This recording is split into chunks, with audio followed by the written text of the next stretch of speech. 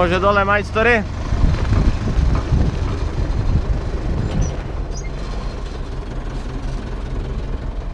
Naskinje, naskine. Majok.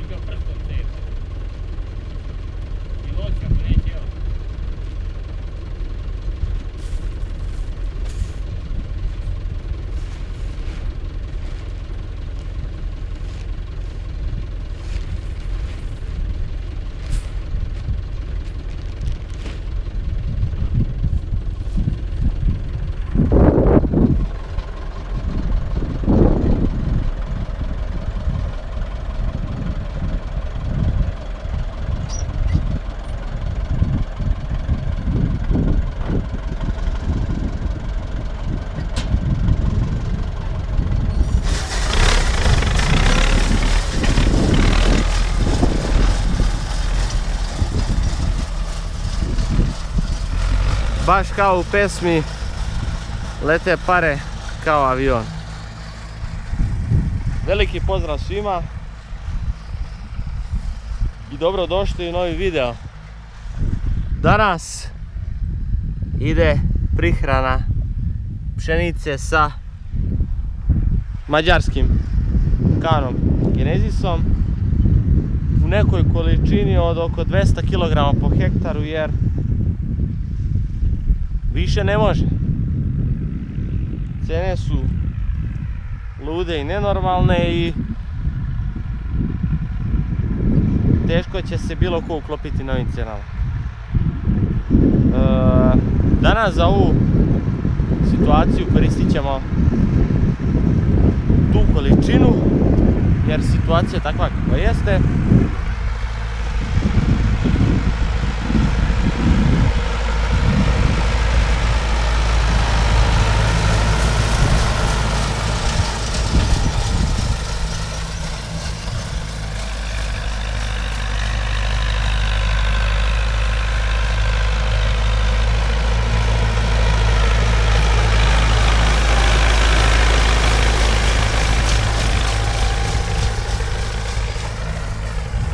I lično mislim da nema svrhe bacati neku enormno veću količinu. E, ja sam imao nekih zaliha od prošle godine, nešto sam se obezbedio prošle godine kad sam čuo da će biti poskupljenje, ali nisam mogao kupiti dva vagona đubriva da bih imao eto za cijelu godinu i da bih imao u jesen za setvu. E, pšenica je lepa, na mjestima ima ovdje ovako malo gdje je malo ređe i malo gdje je svetlije boje, evo kao što se može vidjeti gore. E, iz razloga jer se sva voda sliva ovdje i onda ne može voda otići svugdje. U pitanju je Ingenio. Sad ja ne znam koliko se na kameri može lijepo vidjeti, ali evo vidi se valjda taj prelaz. Ovo je jako lepa boja, zelena. Tamo je malo ređa i malo je svetlije zelene boje.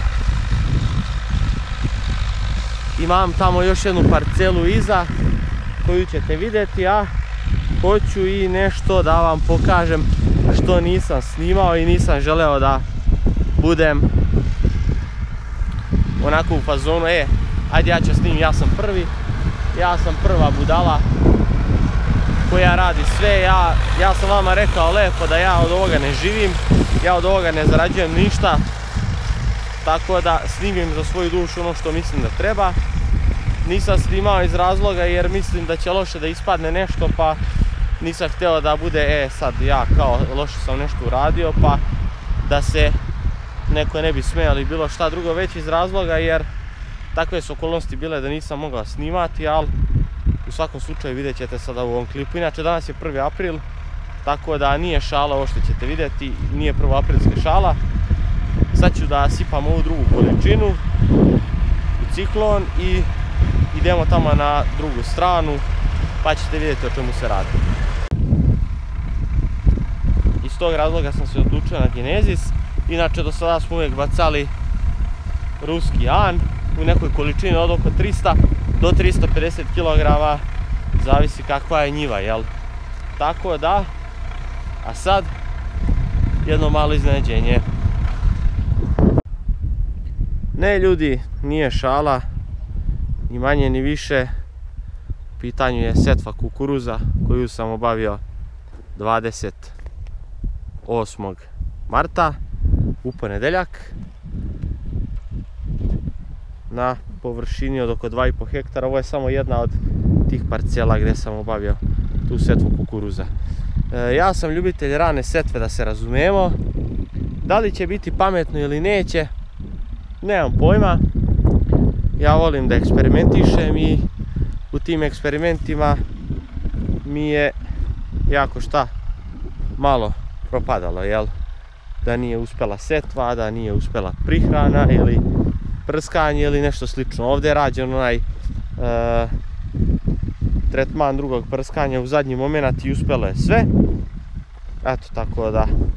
Imao sam ovdje jako lepe kukuruze. Ovdje sam posijao Pionir P0865 sa kojim sam prošle godine bio prezadovoljan. Lepo se i uradilo za naš deo ovdje kako su zemlje nezgodne i kako negde bude teško za obradu.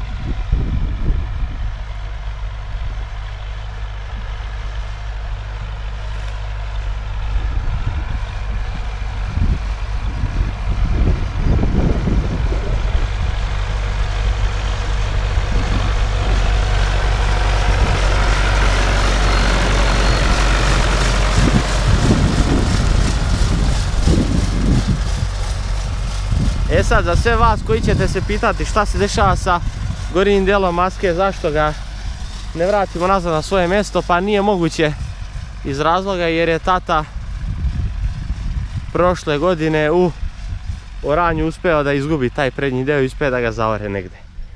Nadamo se da ćemo ga ove godine izvući spremačem.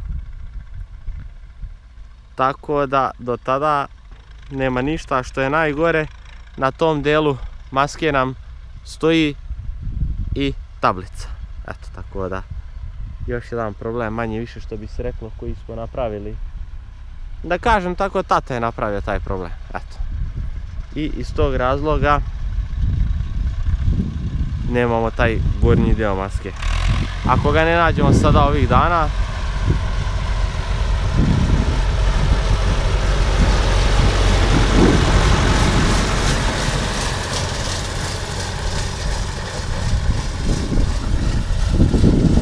prolećnoj pripremi.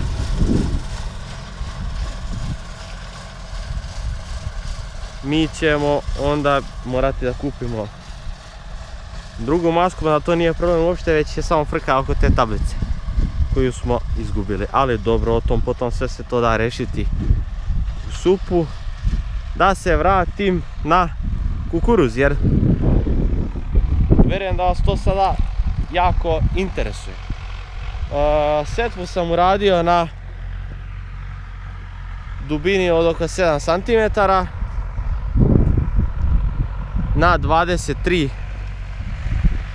cm razmak od zrna do zrna i to je to.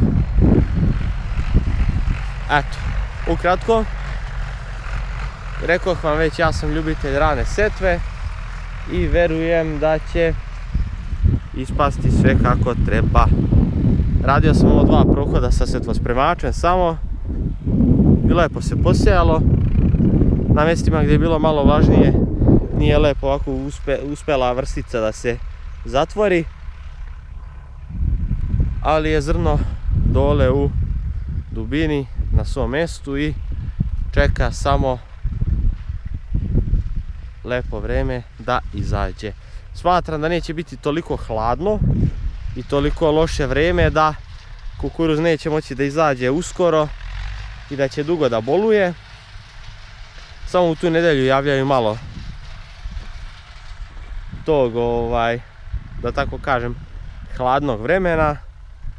I to je to. Dok ovih dana smatram da ima dovoljno vremena da se pripremi da izađe i smatra da neće bolovati jer pri nekom klijanju neće biti velikih temperaturnih minusa. Eto tako da u suštini vidjet ćemo šta će biti. Idem sada da prebacim đubrivo na drugu lokaciju. Imamo tu još jednu prihranu pšenice, vidjet ću, možda ću snimiti još koji kadar. U suštini u toj drugoj parceli se neću ni pojavljivati, tako da ovom prilikom bih želeo sve da vas pozdravim. Da vam poželim svako dobro, a mi se vidimo u nekom od narednih klipova.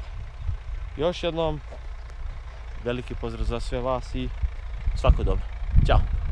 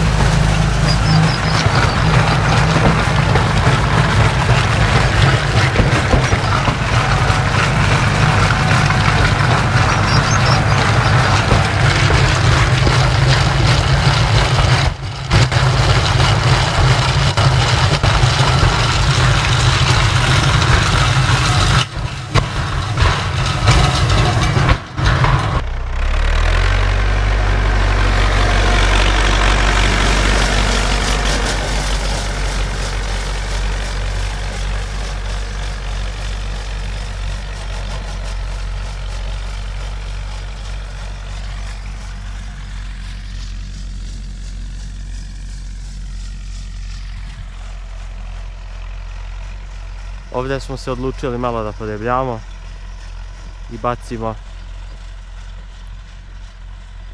malo više. Tako da ćemo vidjeti. Ovo se uzoralo jako teško. Prethodni vlasnik je dozvolio da se ore kaljavo i po blatu i imali smo kukuruz koji nije uspeo presejali smo, ponovo nije uspeo jer je bilo kaljavo uzorano, inače ovaj moj deo ovdje njiva što ima što radim, ovo radim pod zakup, kaljavo ako uzorete ili kaljavo ako spremite za proleću setvu, nemate usev. Može da bude vreme idealno koliko god, možete baciti đubreta koliko god ako radite vlažnije, nemate ništa. Tako je, nažalost, i to je to. Ja bih voleo da mogu da zatvaram razlog kao i ostali u Vojvodini i Sremu, ali ne mogu. Takva je situacija.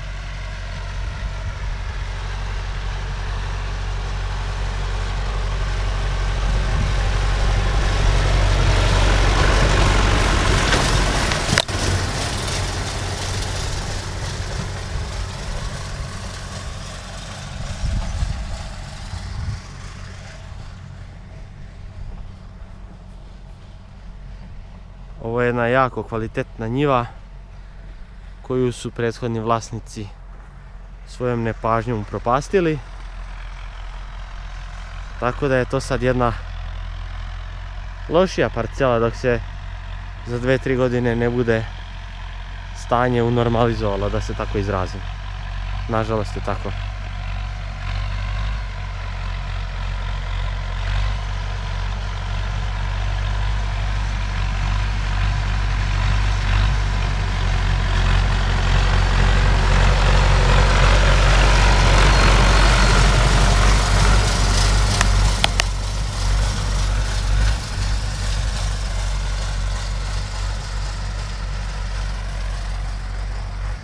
Iza nas je ovamo selo Jalovik. Ovom prilikom ćemo pozdraviti gospođicu Draganu.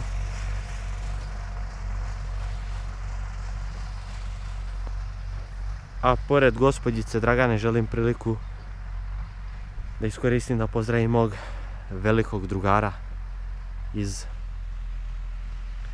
Stare Pazove, Branislava Pijetlovića koji je inače moj i najverniji fan. On me pratio čak i od AgroLive kanala i uvijek je komentarisao klipove. Jedan jako, jako redko dobar i neiskvaren momak. Tako da veliki pozdrav za tebe druže moj.